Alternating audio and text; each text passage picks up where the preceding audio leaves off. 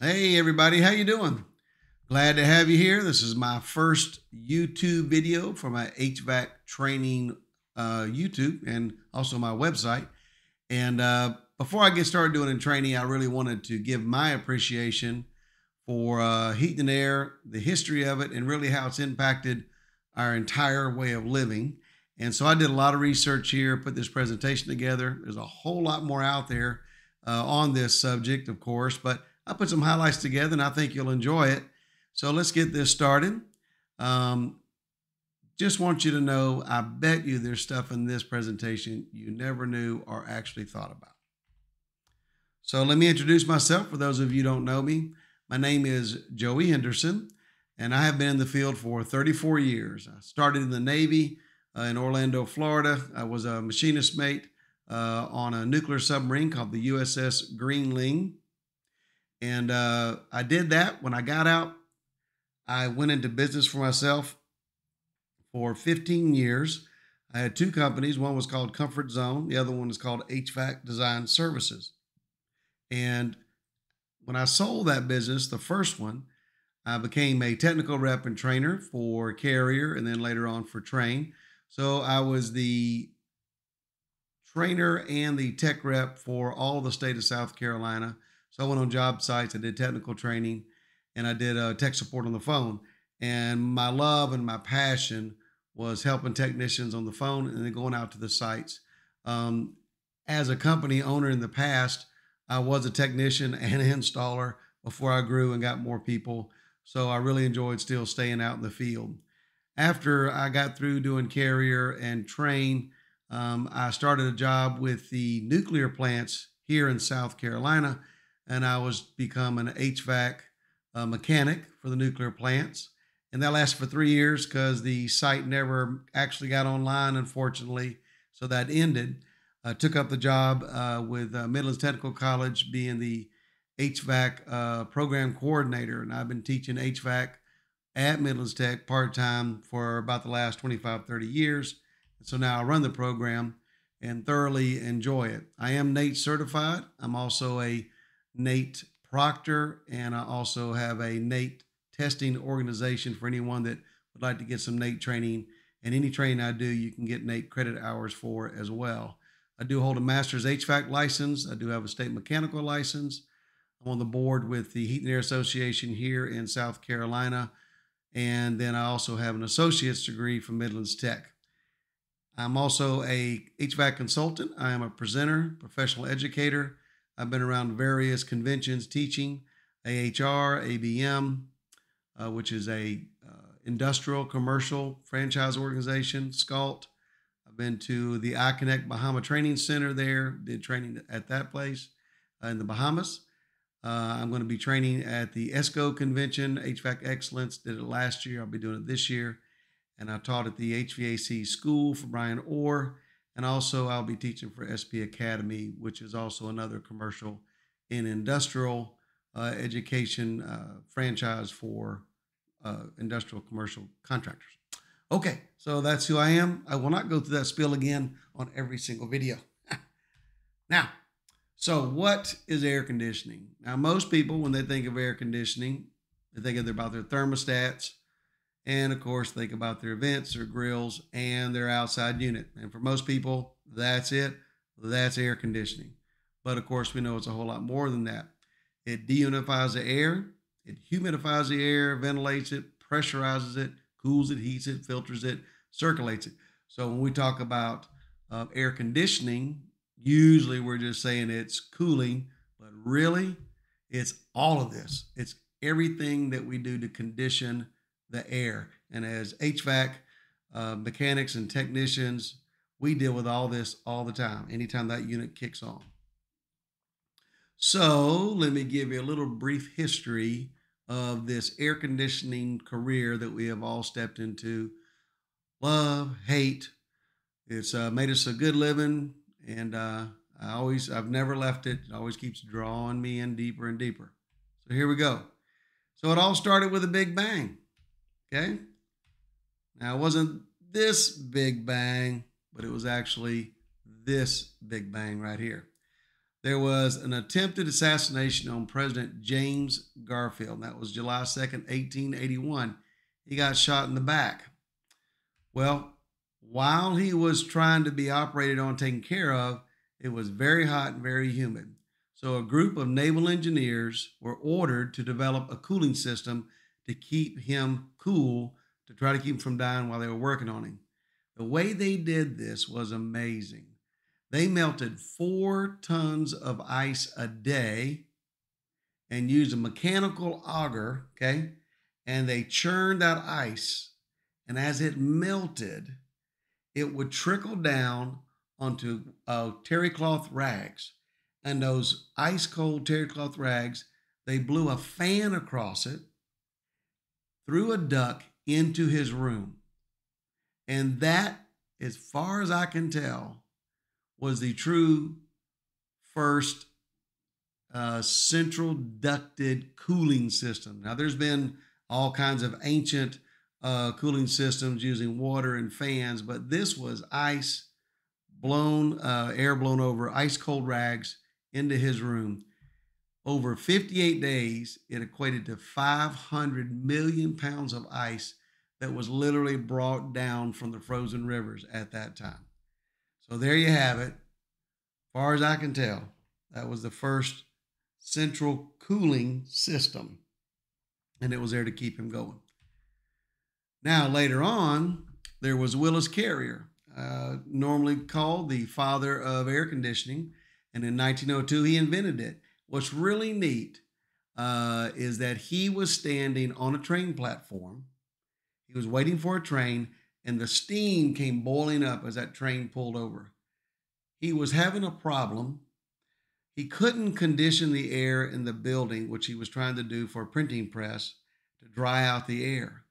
The problem was that all the air that came in was from the outside. And he didn't know, him and his engineering team never knew what the conditions of the outside air would be. So they didn't know what the conditions of the outside air would be. They didn't know how to, uh, you know, use a cooling system to dry out the air, to remove the moisture from the air. So as he stood there on the platform and all that steam came up, he got an epiphany if he controlled the condition of the air entering the evaporator coil, then he could control the air leaving the evaporator coil. So, what he did is he literally completely saturated the incoming air. So, he knew that it was 100% saturated.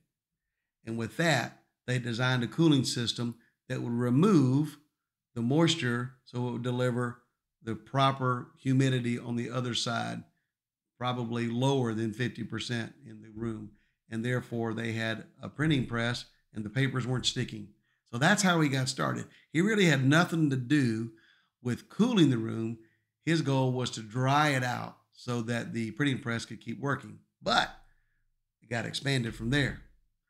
From there, he created with his team centralized cooling. And they started doing the return duct. So it was enclosed circulating system. And the theaters were the first place to get it. So here you go. There's a sign right there cooled by refrigeration, Carrier Engineering Corporation. And now people could actually go to the movies in the summer. Okay. Before then, they could only go in the movies during the good, cool weather. But in the summer, no movies, hot, humid, ain't gonna work. Now they could go all year round. And as far as I can tell, this is where the term summer blockbuster came from. Now we could go to the movies in the summer. After that, it moved into hospitals and it moved into pharmaceutical areas, and we started getting cooling really more in the commercial side. But then later on, in the mid 60s, we started getting air conditioning in homes because of air conditioning, we were able to move westward and live in areas that were uninhabitable because of the heat and the humidity. Arizona and Florida and Nevada, those places really could not grow until they got air conditioning. Once air conditioning hit the homes, boom, there was an explosion in those areas that we take for granted today, of course. So without air conditioning, Okay, without that career that you and I love, you and I know, and that we're trying to get more people into it because we know we're desperately needing for technicians, there would be no Las Vegas. There would be no Disney World. There would be no beautiful beach resorts and hotels that we could go and stay at, play on the beach, and then go back in a nice, cool area. None of that would be possible. And we could not go to the movies in the summer. What a terrible life that would be. So here we go. That's what we start off with. We take it for granted, but because of air conditioning, we got that. Without air conditioning, no way. So, what about refrigeration? Well, we think of refrigeration, we think of ice, think of ice cream, think of cold milk, eggs, vegetables, refrigerator stocked full of stuff. Take it for granted. We open it up, there it is, ready to go. Get fruit from all over the world, vegetables from all over the world. Why? How? Refrigeration. So let's do a little brief history of refrigeration. Let's talk about ice. Well, not that ice. Let's talk about a different ice cube. How about this ice cube? So back in the day, by around 1800, people actually harvest ice out of the rivers. Okay, as you can see right here, we've got them going. These guys, of course, are, uh, I don't think DHEC was around during those days, but these guys are cutting these ice blocks and they're pulling them in. So they cut them out of the river, they pull them down here, sort them out, and then guess what? They put them up here in storage. And guess what this was called? An ice house. You ever heard of ice house beer? That's where the name came from. And ice houses came in all kinds of um, uh, shapes and sizes. Some were in the ground, some were above ground. They would pack them full of uh, sawdust and straw to try to keep them from thawing out. They had a wood to insulate it. A lot of your original uh, refrigerators were wood lined, and that was what the way they insulated it with. So there literally was icemen that collected ice, and it would float it down river and then be stored so that we could have it in the summer. And here's what we got we actually had ice service. You ever heard of the Iceman? Well, literally, they would come and uh, bring ice to the house. People would have these little stickers in their window, like a little diamond, and it would have on there the information on what size ice they needed for their particular refrigerator. And here he is. The ice man would come. He would have his ice in that bag right there. And if you see right here, he would stick it in here. Now, if you've ever heard some old timers say, maybe your grandmother, grandfather, they would talk about the ice box. Well, that's what this was. This is literally your original ice box right here. They would stick the ice in here, and as it melted, it would cool, you know, all the stuff in the refrigerator here or in the ice box, and then it would drain into this pan. He would come back, put in a new block of ice, and that was the way it went. So there you go. There's the Iceman, and there's the ice box. And here's a really nice picture of one. And again, you can go into uh, really cool websites for industrial history, look up air conditioning refrigeration, and see all this. Now, what else do we have in refrigeration that we take for granted? How about road transport refrigeration? All these right here, these are refrigerated transportation boxes. Unbelievable. Trucks are refrigerated, tractor trailers are refrigerated, and because of that, we get fresh food to the market all the time. We don't have to go out there and get it. We don't have to go across the world to get it. shows up right here in our grocery stores. And just for your knowledge, it is a fast growing business. And so if you're looking to get into the refrigeration business, check out Transportation Refrigeration. They're hungry like the rest of us. And here's the growth of it, and expected to grow again into the billion dollar industry. And without refrigeration, look at this no fresh vegetables, no ice cold drinks, no fresh steaks, no milkshakes. So, good thing we do it. I like the steaks myself. Oh, and the cold drinks. Get this fun fact. Did you know even Eskimos use refrigerators? That's right. Guess why they need them? You're not going to believe it. It's to keep their food warm. they have to use a refrigerator and it insulates the food and it keeps it at 40 degrees. If they didn't have refrigerators, their food would freeze. Now, you know, they would bury them in the ground and put them in kind of like an ice house itself, but they actually buy refrigerators to keep their food warm. Fun fact. And don't forget this refrigeration is in the medical field.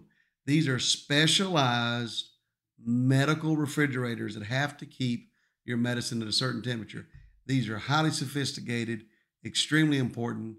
And if you get into this business, wow, okay? These are really high dollar. But think about it without refrigeration, we couldn't keep our medicine in the right condition. Uh, we're doing a whole lot better now with vaccines, uh, with any kind of medication you need. And these are uh, extremely specialized. So look into it. But that's another thing. Without us, we wouldn't have this. Now, this is really cool that I found out about. This is called clean room technology. This is where it's a very sophisticated setup here, okay? But you can go and watch on just type in clean room technology. Great, some great YouTubes on it. But what it is, this room is designed with a highly uh, speci- very specialized ventilation system. And this room, all the air is forced down and filtered out constantly so that there's zero dust in the air, no particles. And this is where they make the microchip. Okay. Without air conditioning technology, we couldn't have a clean room. And without a clean room, you cannot have a microchip. So thank you HVAC career people for cell phones, computers, any digital electronic device that has a microchip only because of HVAC. How about that? And without air conditioned refrigeration technology, we could not do underwater submarine exploration. What you think they're doing in that little bub right there? That's air conditioning, keeping them alive and cool and dehumidified. How about this? See this spaceman right here? You know what's on the back right there? That big old ginormous backpack? An air conditioner. See, the deal is, is that when they seal this dude up in this ginormous suit, it's all heavy, his body heat would kill him. He would cook himself in there. So they got this air conditioner in the back. He's got water tubes that run all through that suit. And that air conditioning is keeping chilled water going through that suit to keep him cool. No computers and no airplane travel. Without air conditioning, you could not go up inside that ginormous hollow metal tube and get that close to the sun and live. All right, unless you want to break the windows out. We know what happens. Everybody gets sucked out the window. So air conditioning is essential. Without air conditioning, say bye bye to airplane travel. So one thing we don't want to lose is Lacey now. She needs her air conditioning too. Tell me you don't have an air conditioning unit for your dog.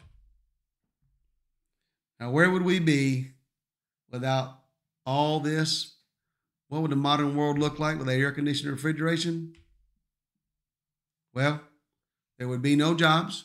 Thousands and men and women wouldn't have jobs. Engineers, technicians, installers, parts store owners, parts store employees, and educators.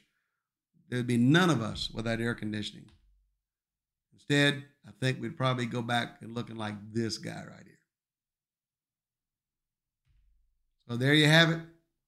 A brief history of air conditioning, the importance of it, and the part you play in keeping this society going in its current modern age, not going back to the Stone Age.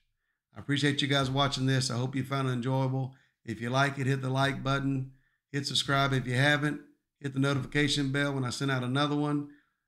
This is joejoehvac.com. Go there. I'll have some more stuff on that area.